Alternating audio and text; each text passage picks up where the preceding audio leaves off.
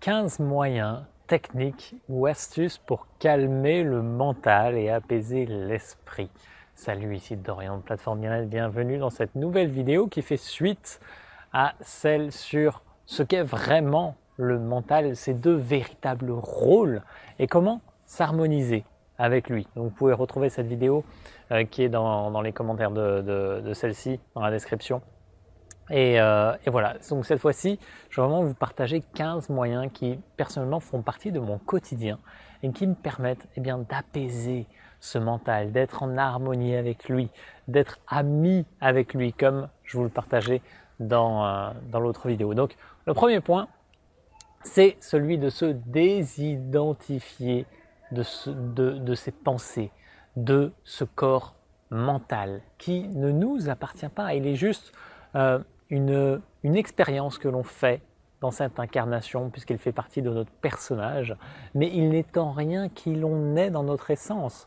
Donc c'est juste prendre du recul avec ça et se poser en posture d'observateur. Et quand vous faites ça, donc au début ça peut vous paraître un petit peu éthéré ou, difficile, mais plus vous allez vous poser en, en, spectateur, en observateur des pensées qui passent, plus ça va devenir évident pour vous. Comme les, les nuages passent dans le ciel chaque jour, eh bien, ça n'empêche pas le soleil de, rayonner ou le ciel d'être bleu derrière. C'est juste des nuages qui passent et on peut les observer. Et bien, c'est pareil pour les pensées. Second point, c'est de méditer et de faire rien. Faire rien, c'est la pratique phare que je partage euh, très régulièrement, qui permet vraiment ben, dans un premier temps d'exciter le mental parce que le mental n'a plus de prise sur lequel euh, s'accrocher donc il commence à, s'exciter pour, pour euh, montrer qu'il existe et que et qu'on doit lui apporter de l'importance et que plus vous allez eh bien prendre du temps à faire rien plus vous allez vous désidentifier de, de désengager plutôt du processus de penser de devoir faire quelque chose pour atteindre quelque chose. Et là, vous commencez à vous apaiser, le mental commence à s'apaiser et tout devient beaucoup plus fluide. Donc quand vous méditez, eh bien, cela vous permet juste d'incorporer plus de présence dans votre quotidien, dans tout ce que vous faites. Et c'est ben, une pratique plutôt essentielle, euh, en tout cas pour arriver à un certain état de, de paix. Ensuite, c'est le son originel. Énorme point que le son originel que je partage dans tous mes livres, parce que pour moi c'est la pratique phare, donc le son originel, c'est un son qui passe euh, d'une oreille à l'autre, en fait comme s'il traversait un fil tendu qui traversait votre, votre tête et qui sort par les oreilles et c'est un son qui est souvent confondu avec euh, les, euh, les, acouphènes par exemple. Alors, beaucoup de personnes pensent qu'ils ont des acouphènes alors qu'ils ont juste un son originel merveilleux dans les oreilles qui leur permet de se connecter à leur être. Donc là vous allez mettre votre attention sur ce son qui est plutôt aigu mais qui peut avoir plusieurs formes. Plus eh vous pourrez vous y connecter très facilement en toute situation ça vous permet de protéger vos oreilles, ça vous permet de vous centrer sur l'instant présent et sur votre vibration à chaque instant. Quatrième point, c'est se recentrer sur le cœur. C'est soit vous êtes dans le mental et les émotions, soit vous êtes dans le cœur. Et quand vous centrez dans le cœur, donc aussi bien le cœur physique, entendre votre cœur battre que le cœur énergétique au centre de la poitrine, au niveau du chakra du cœur, eh bien plus vous allez apaisé parce que vous ne pouvez pas être dans les deux. Soit vous êtes dans le cœur, soit vous êtes dans les pensées. Si vous avez euh, des pensées voilà, que vous n'arrivez pas à gérer, c'est que vous n'êtes pas dans le cœur. Recentrez-vous dans le cœur et ça va vous apaiser naturellement. Un point directement dans la suite, c'est de se centrer sur le corps. Quand votre attention est sur le corps, eh bien, vous n'êtes pas dans les pensées. Donc prenez conscience de votre corps, de comment vous vous sentez à l'intérieur, de, des différents membres, des muscles, des os, des articulations.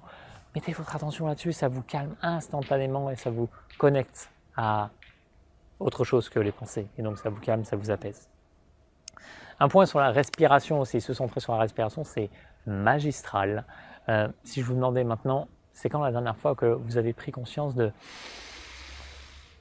d'inspirer et d'expirer en conscience? Et ça fait un bien fou ça fait bien fou, faites-le, parce que ça c'est gratuit et euh, ça vous demande juste deux secondes de, votre attention et ça vous calme instantanément. Euh, dans la prochaine, euh, prochaine logique, c'est arrêter de se poser des questions. On est énormément dans votre société dans le pourquoi, dans le comment, mais arrêtez de vous poser des questions. Vivez simplement l'instant présent. La vie vous demande de vivre. La vie doit être vécue, pas pensée. La vie doit être vécue avant tout. Et dans cet ordre d'idées, j'ai envie de vous partager une question que vous pouvez vous poser et qui vous permet d'apaiser le mental. C'est Eckhart Tolle qui la, qui la partage dans son livre sur le moment présent. C'est quelle va être ma prochaine pensée? Et vous attendez. Et vous pouvez vous rendre compte que ça crée un espace vide. Quelle va être ma prochaine pensée Et qu'il n'y a pas de pensée qui vient pendant cet espace. Donc ça peut revenir au bout de 5 ou 10 secondes. Mais rien que le fait de vous être posé cette question, crée un espace de calme plat. Et c'est merveilleux. Plus vous allez vous apposer, plus bien vous serez dans cet état où il ne se passe rien dans l'instant et c'est assez jouissif en fait. Point suivant, c'est écrire ou partager toutes les pensées que vous avez ici. Par exemple, vous avez un trop plein que vous n'arrivez pas à calmer les pensées, soit prenez un cahier, écrivez tout ce qui vous passe par la tête. Ça vous permet de coucher sur papier et, voilà, c'est plus dans votre tête. Soit vous le partagez avec un ami. C'est pour ça que euh, moi j'ai des personnes avec lesquelles je partage énormément en toute authenticité. Donc c'est quelque chose qui se fait vraiment en toute authenticité dans le cœur. Et ça fait un bien fou de partager en fait. Donc voilà, je peux que vous conseiller d'avoir une personne avec qui vous faites des points réguliers, vous partagez ce qui est présent pour vous émotionnellement dans les pensées, et, ou alors d'écrire sur un cahier ce qui, est, ce qui est là, ce qui est présent. Euh, après, il y a tout ce qui est lié aux huiles essentielles. Alors on, va chacun avoir des, des, des attirances particulières pour des huiles qui vont nous apaiser ou pas. Donc je vous conseille vraiment la, diffusion ou alors vous pouvez directement sniffer le, pot. Bon, c'est un petit peu plus euh, violent, mais, euh, mais moi j'adore par exemple avant de me coucher euh, sentir le pot de ylang ylang. Alors ça c'est c'est un bonheur mais incroyable. Et on a tous nos, nos préférences. je peux vous conseiller aussi tout ce qui est lié à la terre ou, ou, à tout ce qui est le bois, le bois de santal, la résine, la myrrhe par exemple ou euh, ce qui est lié à la terre, ça va plutôt être le, cèdre de l'Atlas, ce genre de choses. c'est des choses qui sont, des huiles qui sont euh, essentielles, qui sont super parce qu'elles connectent à, à, cette terre, à, voilà, à la nature, et c'est euh, absolument génial. Et dans cette même logique, c'est de se connecter à la terre, bien sûr, être pieds nus dans l'herbe. Je vous le montre pas, je vous l'ai déjà montré dans d'autres vidéos, mais à chaque fois que je fais une vidéo dans mon jardin, ben je suis pieds nus parce que je suis là, je suis présent, je suis dans la terre et ça fait un bien fou. Et être connecté à cette nature, à cette terre, Pensez à s'ancrer. C'est absolument essentiel si vous voulez. Si, vous êtes dans les pensées, vous n'êtes pas suffisamment ancré. La plupart des gens ne sont pas suffisamment ancrés dans notre société, trop dans l'agitation, et c'est ça qui crée du désordre au niveau euh, mental aussi. Euh, il y a le lemongrass aussi en huile essentielle qui est super pour apaiser l'esprit, clarifier les idées, etc. En, diffusion aussi. Euh, ensuite, c'est de faire une activité créatrice et qui soit euh, et qui demande beaucoup d'attention. Et ça c'est super et qui vous coupe aussi de, tout ce qui est technologique. Donc pas de technologie, vous êtes centré sur une activité qui vous demande de l'attention, qui vous demande un esprit créatif. Donc ça peut être ça peut être de l'art, ça peut être euh, cuisiner, ça peut être euh, faire un morceau de musique ou quoi que ce soit, faire une construction quelle qu'elle soit. C'est absolument génial. Pensez à ces choses-là, c'est simple. Ça va nous demander du temps forcément, mais ça va vous apaiser comme jamais. Ou ne serait-ce que de colorier un mandala, faire un dessin, un truc comme ça. Voilà, c'est vraiment, vraiment génial. Euh, et oui, bien sûr, sans écran, c'est beaucoup mieux parce que la lumière bleue stimule le, mental. Donc euh, évitez ça. Euh, après, c'est de vous couper de toute technologie.